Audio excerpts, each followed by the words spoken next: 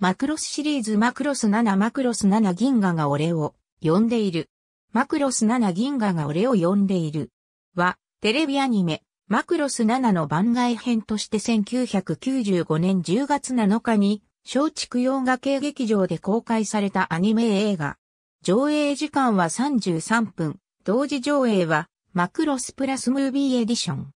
マクロス7テレビシリーズの完結から2週間後、OVA、マクロスプラスの劇場版と2本立てで、マクロスフェスティバル95と題して劇場公開された。それに合わせて映画鑑賞券付きの 8CMCD、チケマガ CD が発売された。本作品は他のマクロスシリーズ作品の劇場版、超時空要塞、マクロス愛、覚えていますかのような原作の再構成や、マクロスプラスムービーエディションのような再編集ではなく、テレビ版の番外編という位置づけにある。テレビシリーズの第38話、禁断惑星のシビル以降に位置するエピソードを描いており、監督の網野哲郎は漫画雑誌についてる付録みたいな感じの作品で非常に気楽なものであると述べている。マクロス7の原作、スーパーバイザーで本作においては脚本を担当した川森正春も楽しいお祭りであり、肩の力を抜いて見られる楽しい番外編にしようとと述べている。劇場版の主要キャラクター、エミリアの歌パート担当者は公開当時より未発表のままだったが、後に、ボーカリストの奥、土井美香が自身の公式サイトで担当したことを明かしている。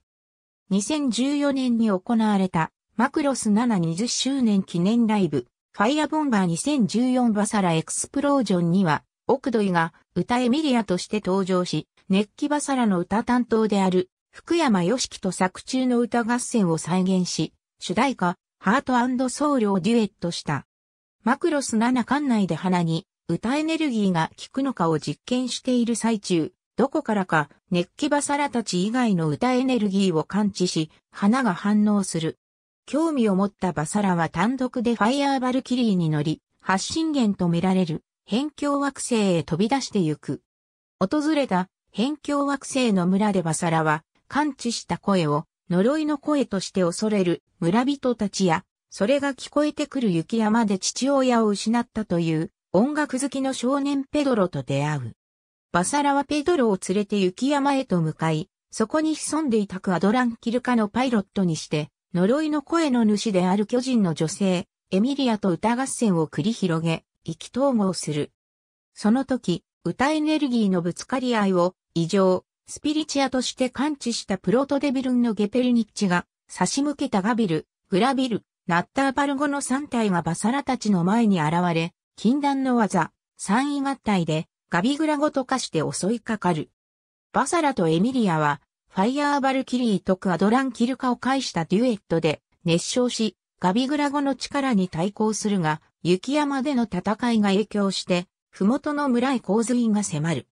戦いで損傷していたクアドラン・キルカゴとエミリアが身を呈して村を救う一方、バサラを追って駆けつけたガムリン・キザキとファイアボンバーのメンバーらの協力により、プロトデビルンは撃退される。助かっていたエミリアは、ミレーヌ・ジーナスにより、ミレーヌの姉の一人であることが判明する。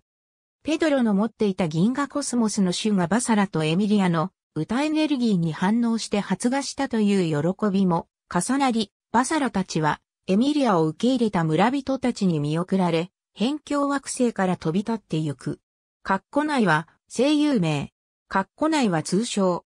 上記の曲のほか、エミリアの隠れ家では、愛、覚えていますかが、熱気バサラとエミリアとの歌合戦では、 Try Again、 Power to the Dream、プロトデビルに対抗する場面では、突撃ラブハートが使用されている。販売元は、バンダイビジュアル。